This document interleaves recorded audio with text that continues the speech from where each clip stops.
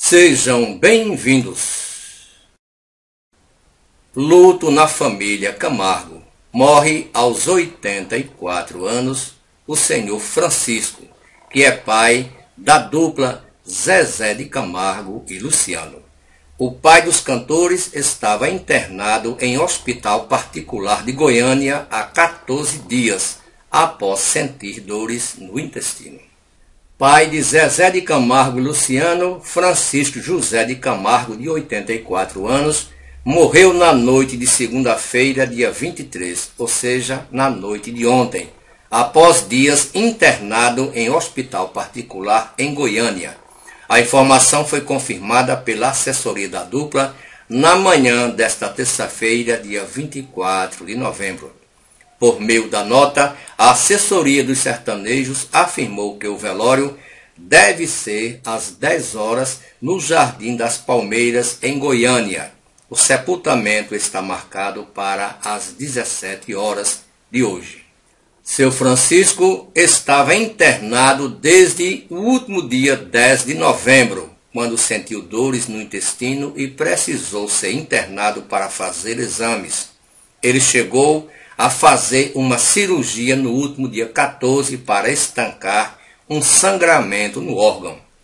Apesar dos filhos famosos, ele ficou conhecido nacionalmente em 2005, após o lançamento do filme, entre aspas, Dois Filhos de Francisco, que contou a história dele e de sua família. Francisco Camargo deixa a esposa Helena Siqueira de Camargo, de 75 anos, e oito filhos.